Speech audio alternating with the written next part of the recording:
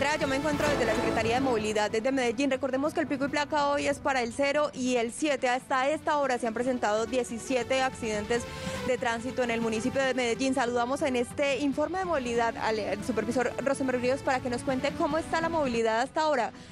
Digamos, ¿ha funcionado el pico y placa? Tatiana, para ti buenos días, para Andrea, JJ y Juan.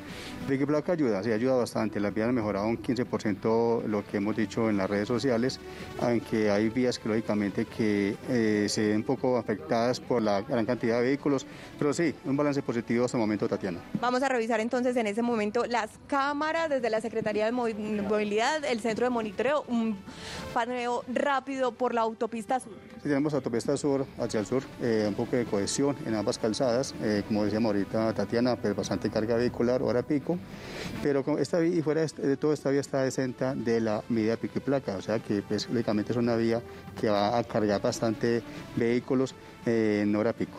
En horas de la mañana se presentó en esta vía un vehículo varado y por eso hubo congestión. Vamos a revisar ahora la autopista.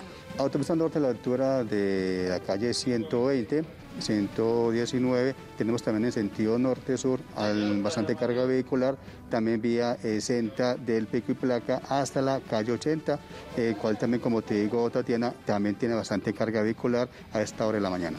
Bueno, y ahorita en la avenida regional. Tenemos esta avenida regional, buena movilidad, eh, hacia el norte, centro de la ciudad.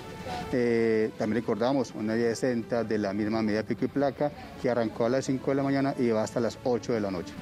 Y entonces, ¿qué está sucediendo en el, en el centro de Medellín, en la Avenida Oriental? Avenida Oriental, tenemos eh, un poco de carga vehicular eh, en sentido norte-sur, como nos muestran las cámaras del centro de control.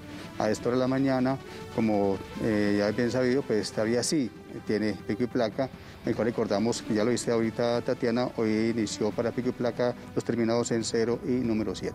Bueno, y ahorita la avenida Ferrocarril en el, el Sena, ¿hay fluidez vehicular? En este momento tenemos eh, buena movilidad. En la carrera 57 a la altura de la calle 50, como nos muestran ahí las cámaras, tenemos buen eh, flujo vehicular, buena circulación hacia el sur y centro de la ciudad. Le agradecemos por acompañarnos en este consejo. A usted muchas gracias por la invitación. Este es entonces el reporte de la movilidad para que los televidentes entonces planifiquen en sus viajes.